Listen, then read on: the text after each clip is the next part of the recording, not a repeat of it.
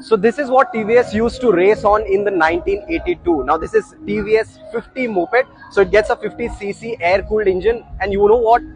It is capable of attaining a top speed of 105 kmph. Can you imagine in that era touching 105 kmph while racing uh, fully crouched and tucked on the motorcycle and as you can see it's just bare basic all you can see is there's a fuel tank uh, clinging onto the chassis there's this engine uh, seat suspension wheels handlebar and that's it. No fancy bodywork.